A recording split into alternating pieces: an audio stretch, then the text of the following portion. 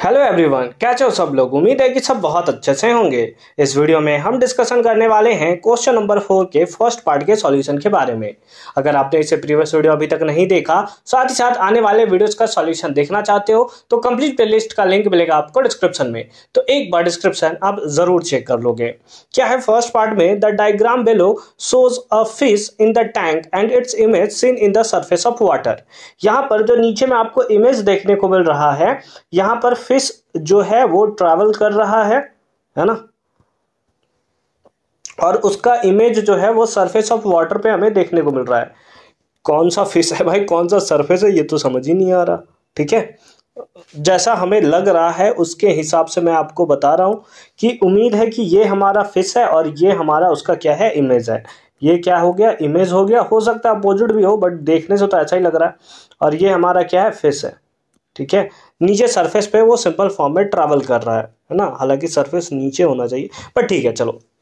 Name the phenomenon responsible for the formation of this image यानी कि कौन सा फिनोमिनन है जिसके लिए रिस्पॉन्सिबल है? तो सिंपल फॉर्म में ये जो फिनोमिन होता है, वो रिफ्रैक्शन होता है। क्योंकि रिफ्रैक्शन के केस में क्या होता है कि लाइट जो है रेयर मीडियम से डेंसर मीडियम में चला जाता है। अगर रिफ्लेक्शन होता तो फिर अगर रिफ्लेक्शन का केस अगर हम लोग देखते तो सबसे पहले तो वो पानी में रहता है। तो रिफ्लेक्शन का तो कोई चांस नहीं बनता, क्योंकि वहाँ पर हमें रिफ्रैक्शन ही देखने को मिलेगा। और रिफ्लेक्शन के केस में इमेज नीचे ना बनकर क्या बनता है?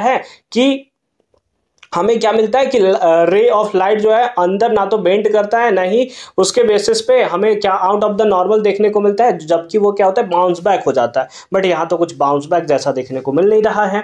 तो फ़र्स्ट का फिनोमिनन कौन सा होगा? That is that is refraction कौन सा होगा? दैट इज़ रिफ्रैक्शन ये रिफ्रैक्शन के कारण ऐसा हमें देखने को मिलेगा। ठीक है?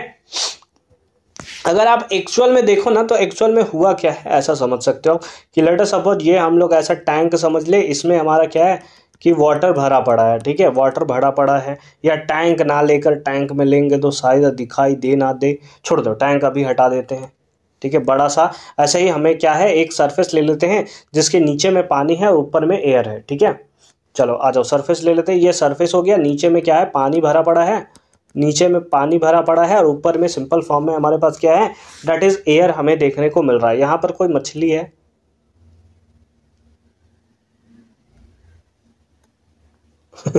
खतरनाक मछली है, ठीक है? ये मछली आई, ठीक है? यहाँ से एक रे ऑफ़ लाइट निकला। यहाँ पर जो नॉर्मल यहाँ पर होगा, और क्योंकि ये डेंसर से रेयर जा रहा है तो ये क्या चला जाएगा? अवे फ्रॉम द नॉर्मल चला जाएगा। सेम केस में अगर आप देखो तो एक रे यहाँ से जाएगी, ठीक है? एक रे और आपका यहाँ से निकलेगा, जो कि कहाँ चला जाएगा? लेटर सपोज़ यहाँ से निकला। यहाँ से निकला और ये किधर चला गया? That is away from the normal चला गया। तो एक्चुअल में कहाँ से गया? ये ऐसा लगेगा कि जो रे ऑफ़ लाइट आ रहा है, वो एक्चुअल में यहाँ से आ रहा है। इसीलिए फ़िश जो है, आपको थोड़ा सा स्लाइटली क्या दिखाई देगा? ऊपर में दिखाई देगा। बहुत खतरनाक फ़िश बना रहा हूँ यार मैं।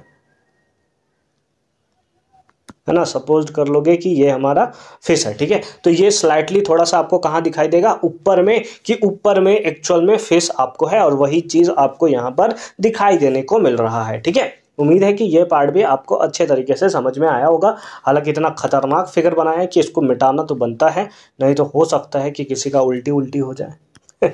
अपना कोई ऐसे कैसे बेइज्जती कर सकता है? बी पार्ट में देखो क्या है। Complete the path of the ray through the glass prism of critical angle अच्छा क्रिटिकल एंगल हमें गिवन है कितना है?